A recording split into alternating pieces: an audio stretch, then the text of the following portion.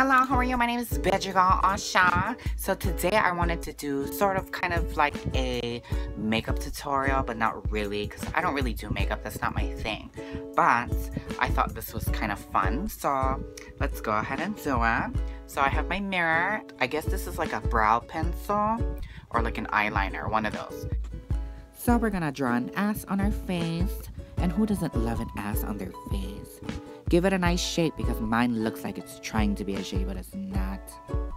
And you know you like a thigh on the side, so draw that in. And then on the bottom of your nose, you're gonna fill in the rim like a loose bottom. Okay, now I'm gonna draw like lines on the bottom here, like towards my mustache area. Bitches love hooker heels, so give them some hooker heels. Add some thick arms in case he needs to bitch slap a judgmental hetero. Draw in the hat.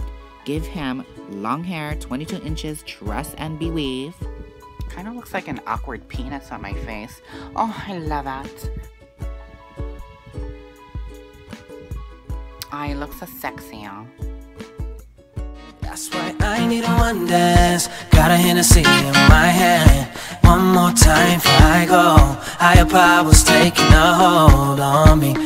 I need a one dance. Got a Hennessy in my hand. One more time before I go. Higher powers taking a hold on me. Yeah.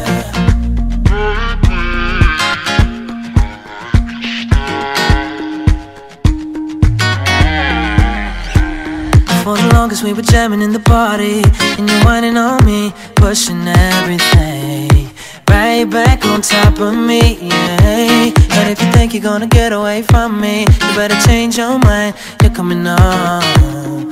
You're coming home with me tonight.